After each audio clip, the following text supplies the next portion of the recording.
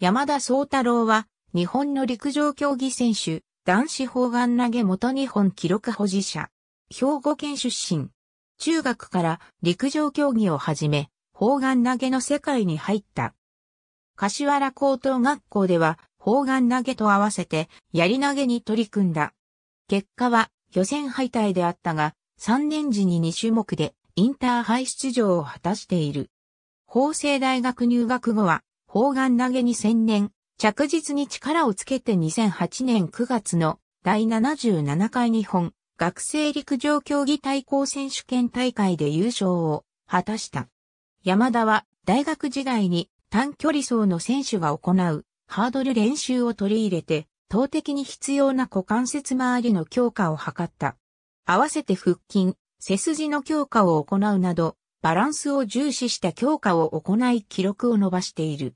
2009年6月、山田は第93回日本陸上競技選手権大会に出場した。1投目から17メートル81を投げて、優位に立つと5投目に18メートル47を記録、勝負を決めて、大会初優勝を飾った。10月の第64回国民体育大会では6投目に18メートル64を記録して優勝を飾った。自身の予想をも超える投擲となり、畑瀬聡が2006年7月に樹立した日本記録18メートル56を更新する新記録となった。11月には第18回アジア陸上競技選手権大会に出場し11位の成績を残した。2010年から2013年3月まで富士通に所属。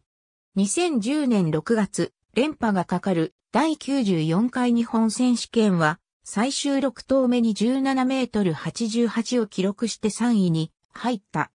7月のトワイライトゲームスでは優勝。2010年日本ランキング1位となる18メートル51をはじめ18メートル台の記録を連発した。10月の第65回国民体育大会では5投目に18メートル04を記録したが2位となった。ありがとうございます。